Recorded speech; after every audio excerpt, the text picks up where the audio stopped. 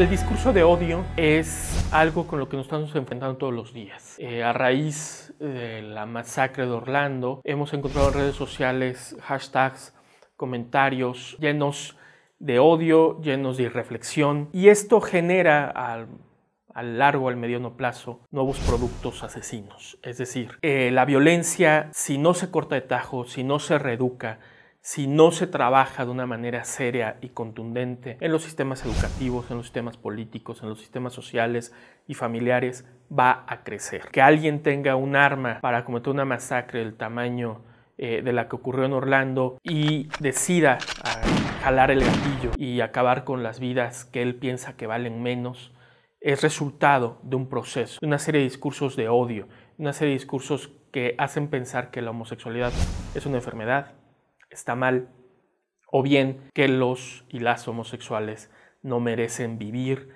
o no merecen tener los mismos derechos. ¿Por qué? Por ser quienes son. Eh, quienes han mantenido ese discurso en Estados Unidos, en nuestro país, en el mundo entero, son en cierta parte responsables de producir a estos asesinos.